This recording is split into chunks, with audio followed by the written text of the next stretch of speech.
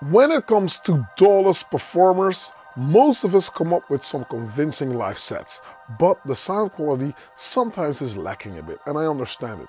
Either you're a musician or you're a sound engineer. So those two things don't go hand in hand if you don't know exactly what it is you're looking for. And buying all these different synths is also going to be a bit of a problem if you don't know how to set the levels right. So these are some simple tricks to enhance your sound quality. That's going to be today's video. Are you ready for that? So let's go do it right now.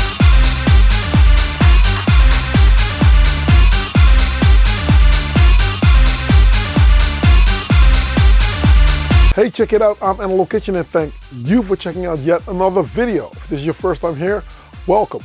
Don't hesitate to click subscribe and hit that notification bell. Whenever I upload a new video, you'll be kept in the loop and you'll not miss out on anything. Hang out till the end. This video will tell you all about the Mixer project.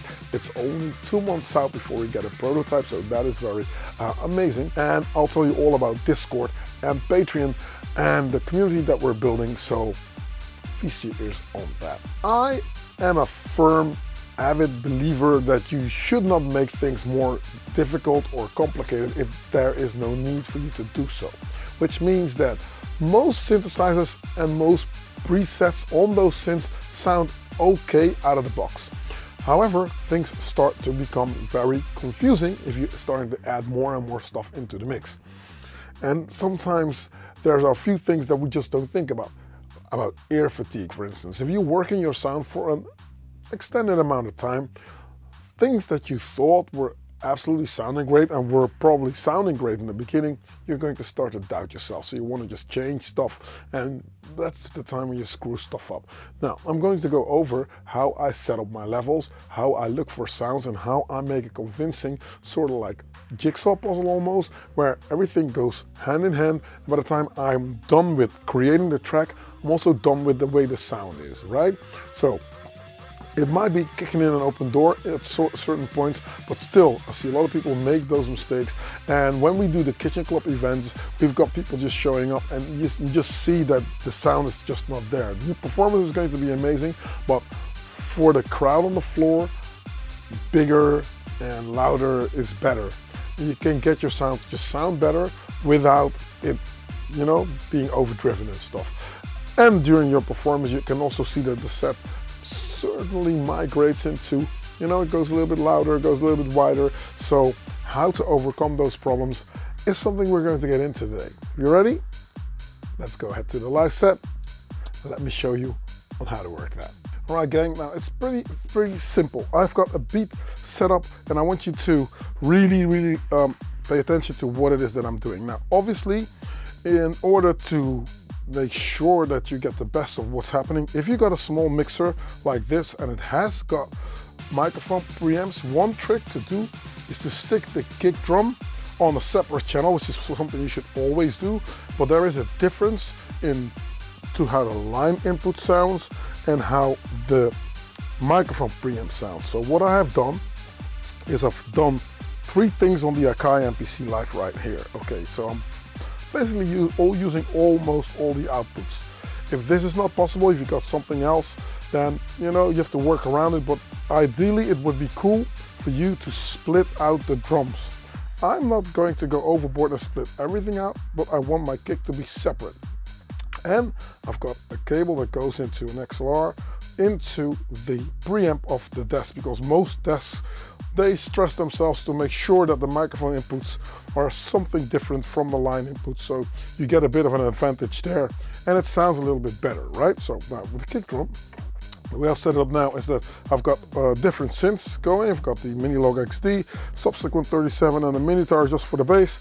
And there's a Strymon Black Sky over here connected to the Subsequent 37. There's an acid box over here going from the output 3 and 4 from the Akai MPC Live. You can follow it around. So really, stereo output, that's where it all starts. If we just focus on this thing first, okay? Now, I'm gonna play you the beat, which is not going to play anything because all the faders are down. We'll start with the kick drum. Okay. Now, I will make this kick available so that you can use it in your own uh, setup and you can try something out. It's not something that I have created myself. It's a kick that I found out of a pack. I will just explain to you why I think this kick is amazing. This kick consists of two dominant sounds. There is this, what I call the belly of the kick. Let's not uh, overdrive. And then there's this thud. This, this mid-range thing, this, this tick. So a good kick consists out of two or maybe three sounds. Sometimes a little bit of noise that goes over here.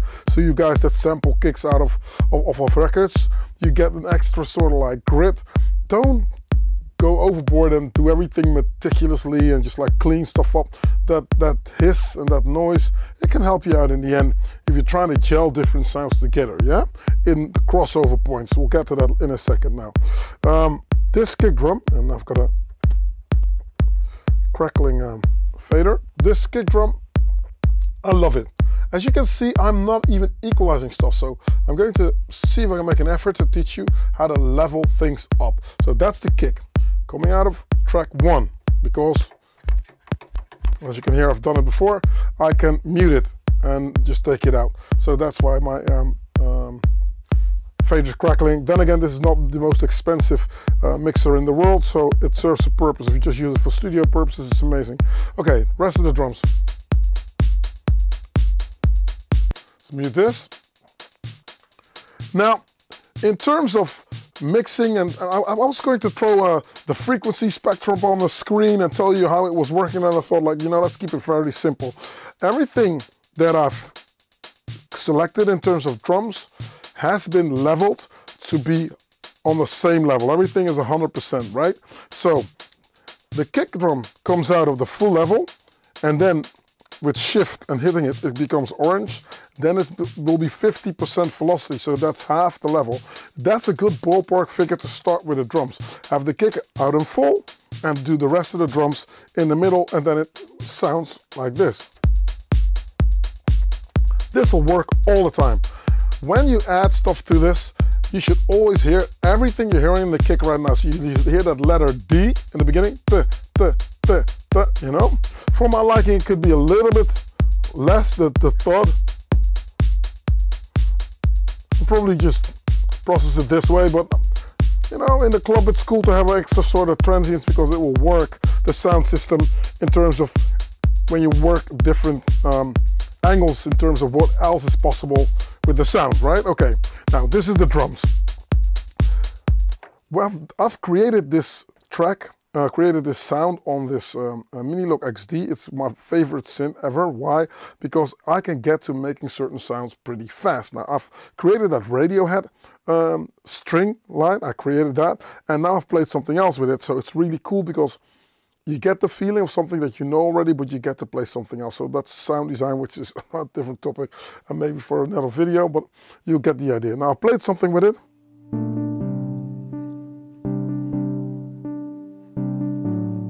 Now when you get a sound like this, that already resembles something that you know of a record that has obviously been very uh, huge. In this case, this uh, um, Everything in Right Place by uh, Radiohead, then you know for a fact that this is already going to sound amazing. This is only so, but again, there's another trick that I see a lot of people fall into, another pitfall is that whatever they like, they just turn up way too loud. So I'll hear this.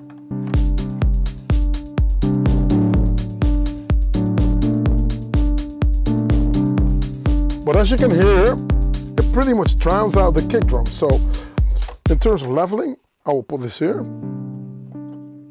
I'll look at the filters.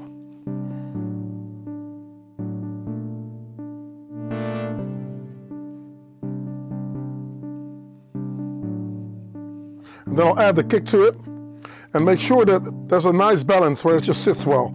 Another thing to note is the volume that you're listening on. If you keep tweaking the volume knob, it's going to give you ear fatigue pretty fast. Now, any um, human being, well trained, will still uh, have ear fatigue within 30 minutes. So it's normal for your ears to go really crazy. So the better the sound engineer is trained, the longer he can go without ear fatigue, but it's still something that occurs. But if you want to have longevity on the way you uh, listen, keep your volume at a normal level. There's another thing where a lot of people think that they have to feel the music. You'll feel the music when you get to the club. When you're making the track, it's dominant that you're hearing the music, not feeling the music. So keep listening to it and you'll train yourself to not get emotionally attached to the track and hear subtle differences, which is exactly where you want to be if you want to just like enhance your sound quality, right? So we know what the makeup of the sound is. This sound is twofold. There's a lot of envelope generation on this sound, so that if I open it up, it becomes screamy.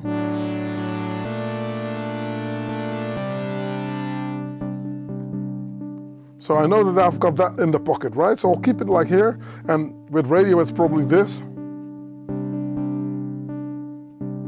But I will keep it here. I'll keep the filter down. And then I'll just play the filter and see if there are any frequencies in this sound that will also um, um, resemble what is on the kick, because the kick obviously has got a sound as well with that little tick on it, that's in the mid-range. So this might cross over there. Let's find out.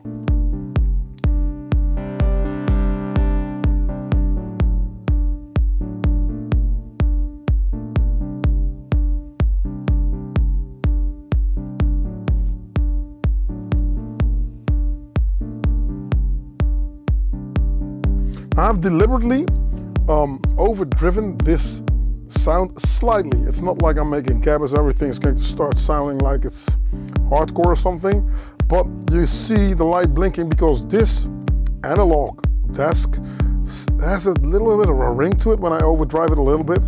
Again, this should be it. I should not go overboard and do it further. I'll just uh, lower the kick so you can hear what happens if um, if I am uh, toning down a little bit, so with the pad mixer here, let's lower this. Listen to the kick.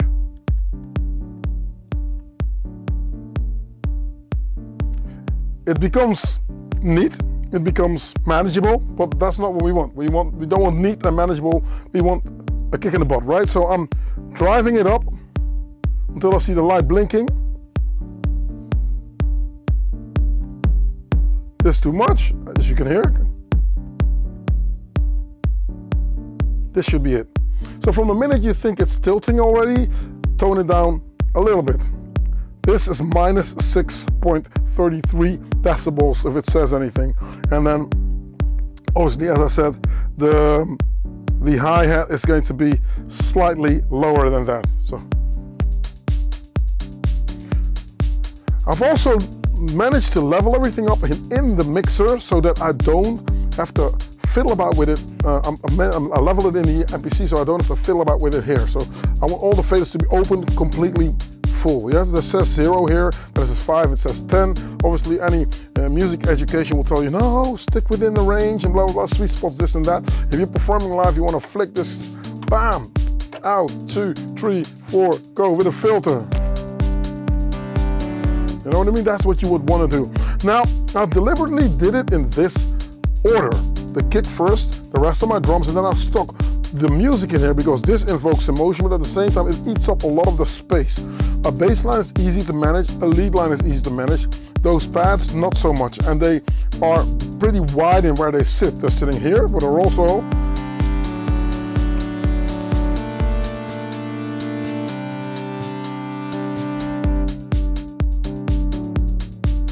And with my envelope generation and the attack on the sound, it becomes more percussive so that if I might go down too low and the sound starts to um, wither a bit because I'm adding more sounds and you get used to whatever whatever's playing in the sound, it goes like, okay, um, what the hell's going on there? You will still hear the percussive nature of the bam, bam, bam, Whatever it is that you play is also very important. What I've played here and I'll go in and see if I can find uh, the track that's playing right now. Uh, Minilogue XD here. The Minilogue XD line has got this one note that's constantly playing boom, dun, dun, dun, boom.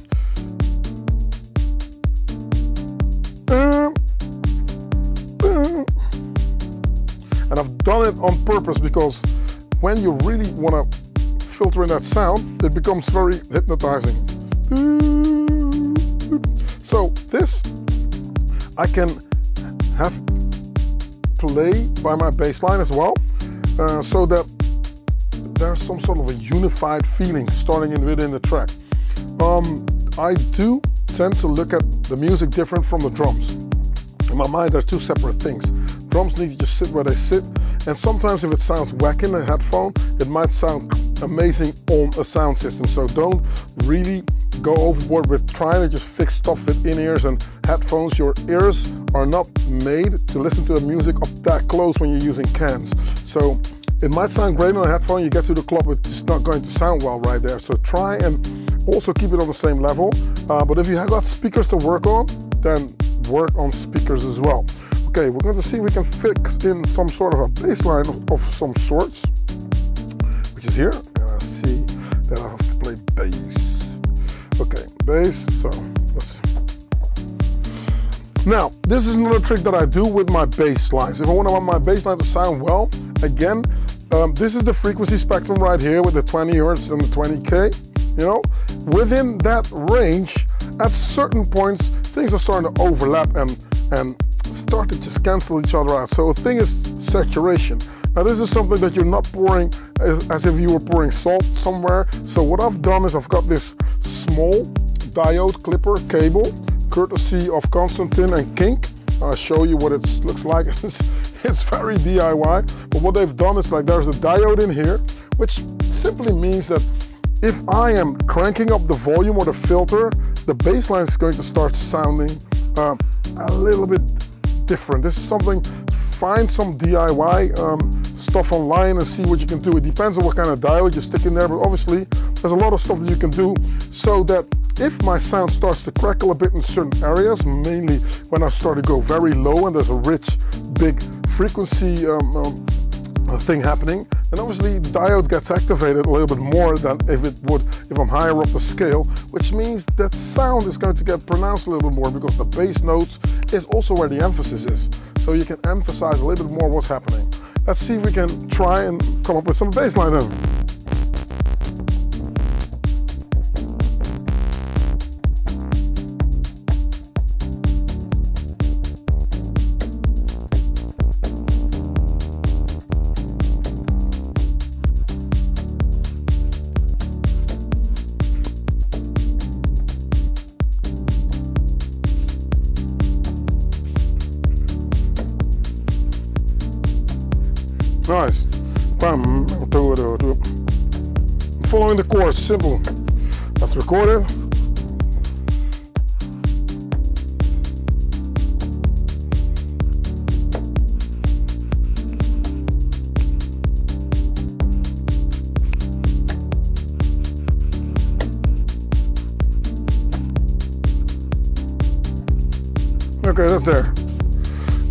Let's look at the sound. There's two oscillators here. Turn this off. Turn the kick off. You can hear it. Now this is, hmm, there's not much happening at the moment.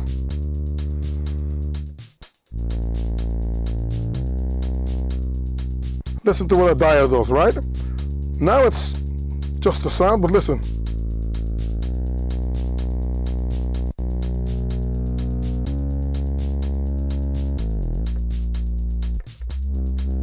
Make sure the yellow is not um, doing anything stupid.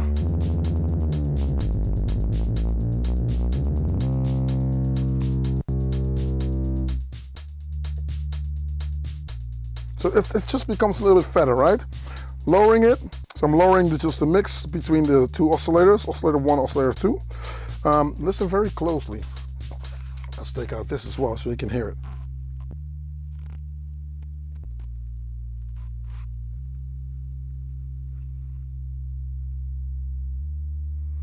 To that crossover point. Here.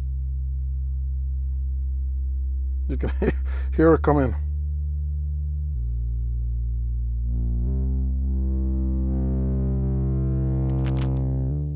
Another crackling knob.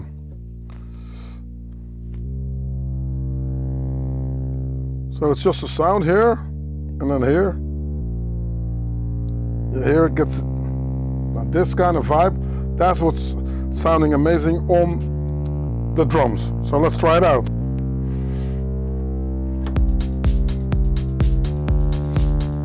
And then you lower it here if, if need be. Lower the filter. I went with a sustained bass line. I can play shorter notes. Then obviously that rule of saturation does something different. But at the same time, let's focus on that for a second right now because I want to make a melodic techno kind of vibe. So okay, everything is, is cool. How do you know if stuff is not working for you? You can easily figure that out because if your kick drum starts to sound like ah, ooh, ooh, ah, ah, ooh, it means that certain frequencies are canceling stuff out. So everything needs to be very audible.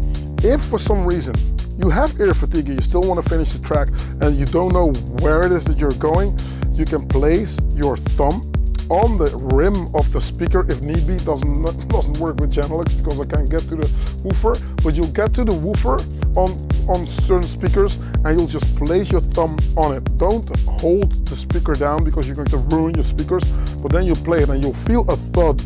And think of the letter D. The letter D for the, that's the, what you would like to feel on the kick drum.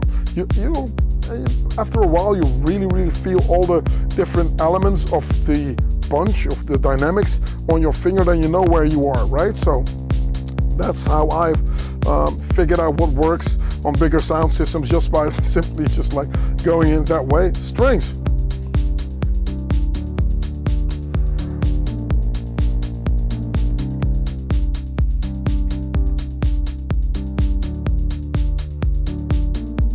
So I love my Mini Minitaur. I don't want this to do completely all kinds of different stuff. I just want it to be bass and bass alone. That's why I love it so much. But because this thing sits in a club and it, you can really rattle the rattle the, the, the, the glasses hanging off the bar opposite you in the back of the club, which is really nice. But this is what it does, right? Now, I said I had different things coming from um, um, the Akai as well. There's something that plays on the Acid Box 3. So this output 3 and 4 has different stuff that plays. And I get to it, I don't want to go in here and map out the filters because I do think that Erica Synths has made an amazing filter, the Acid Box 3. Uh, if I'm not mistaken, this thing comes out of the, uh, um, what was it, Polivoks Synth? I think they've modeled this filter and it just, this is, for once it's stereo filter, ah, thank you. So that's cool and it really, really, really does the trick. So if I'm lowering this more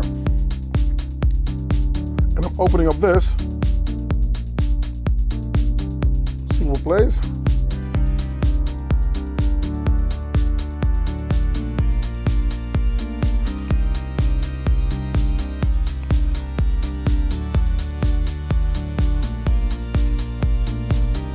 Now, a good thing to do is to go to my um, pad mixer or channel mixer or pad mute, track mute even. This is where all the stuff that plays on the track is embedded. So check out the no drums. Yes, uh, uh, uh, uh.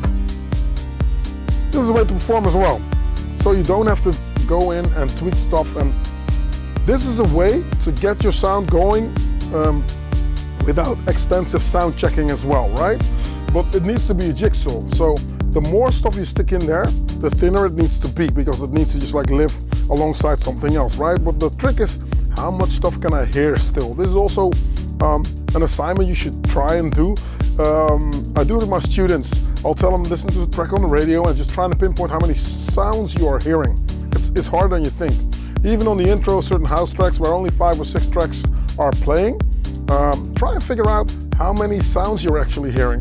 If you can determine those sounds, it's easier to pinpoint where you want to stick your own sound as well, and then you can enhance whatever it is that you're trying to accomplish with your track. Now, I don't really overly complicate the tracks that I'm making, but they still sound advanced because of the sheer CIA kind of stuff that I'm trying to do here. I'm, I'm mask stuff, I mimic stuff, I'm there, I'm not there, you know what I mean? I'm in and out, so there's different things, and the filters obviously act as some sort of an EQ. This EQ something really needs to sound like crap before I'm going to use this EQ. And then again, with a $230, $250 mixer, I probably don't expect too much from this EQ section right here. It's going to be cool, it's going to do what it, do, uh, do what it does, but it's not like I will get an, a synthesizer that's twice the, the price of this that is going to enhance that sound. So I want it to just like be my summer and everything comes out here and that'll be that, right?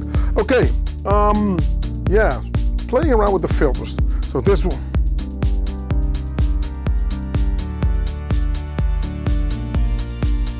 Another thing to improve the sound, I'm taking out this. Let's take out the bass well. So those two sounds playing together, right? We've got this. I'll play it to you in solo because I hear sometimes that it might be hard to follow if I'm sticking different sounds together. Listen to this.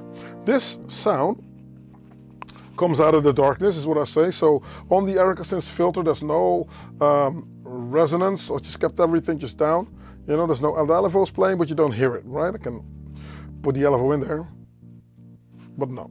So I kept it like this. Then you open it up. And what I love about this sound is that between 11 and 12 o'clock, there's a lot of happening. Listen. Here also, but say this is this is really turning it off. In the mix it will be buried, right? So listening to it here, I'm trying to memorize how this filter behaves when I open it up. Because sound quality also has to do with perception most of the time. And if you can act like more is happening than actually is happening by doing something so magical that people go like, whoa, what just happened?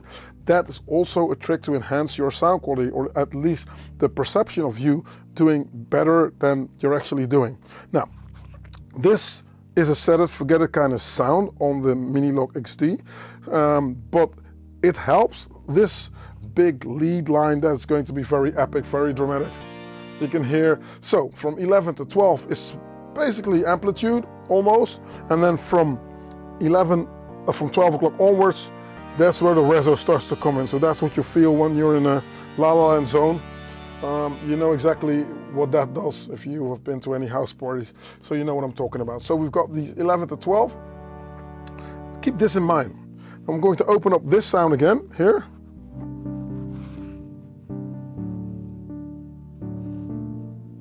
We'll play this in solo as well. Listen to this filter, listen to what this does.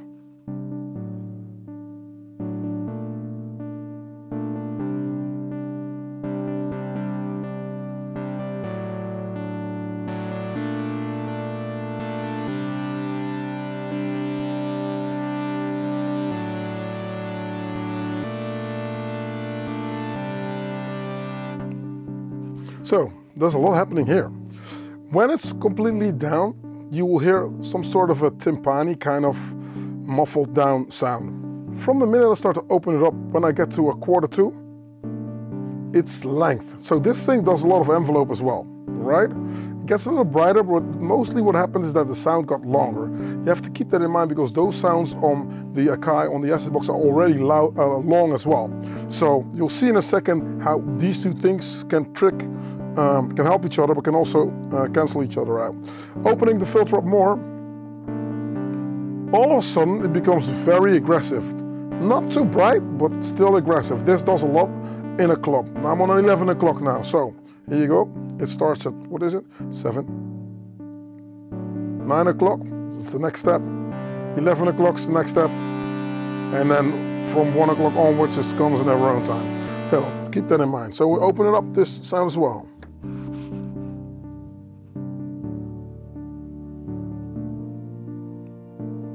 And what I found, what I really like is, from the minute this thing is on 12 o'clock here on the acid box, the sound coming from the Akai, these percussive elements, when this filter is down, is helping this thing. So, do do do, those cores are helping each other. Again, this works wonders with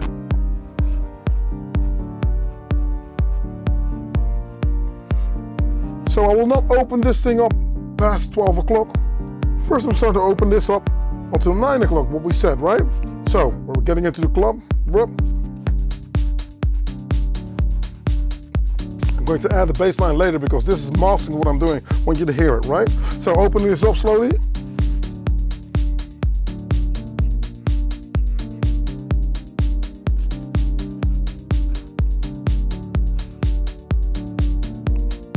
Listen to this. This goes to 9 o'clock. Now this one is gone, the acid box. Open this up, 11 o'clock. This is louder. We're gonna turn this down and open this up. There we go.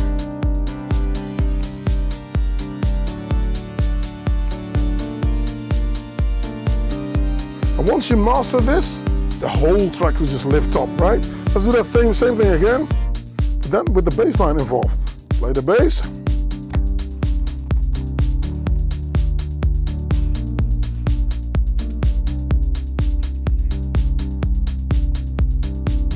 Same thing. This goes to 9 o'clock. This, this goes to 12 first. This one.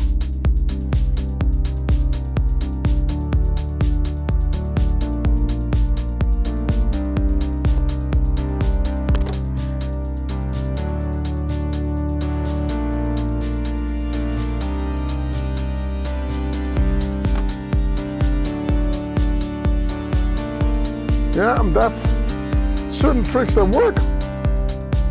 Obviously, there's more different, there's more things that you can do in order to enhance what it is that you want to do. Um, this is how I'm looking at sounds. Uh, there's still a lead line that I uh, didn't get to, uh, but the subsequent can also do something else on top of it. But most of it is like it's perception, it's getting there, but it's it's basically setting your drums in a certain way, adding sounds to it, and just like gradually adding stuff. Don't overshoot be very careful and don't be in a hurry. I like to welcome Patrick to the community and he's found his way through surfing to patreon.com slash Kitchen and in turn crossing the bridge into Discord territory. Now we've got a nice, well and cool growing community there where there's a lot of people that are actually talking shop. We're talking about how to work your set, how to enhance the sound, how to travel, what cases to use, what gear to use, gas, what have you, all kinds of stuff that we talk about in the synthesizer realm. It's a really cool, tight-knit community. There's a lot of respect going on there. You can play your demos, you can have people just comment on that. People will help you out. It's a really cool community of like-minded folks.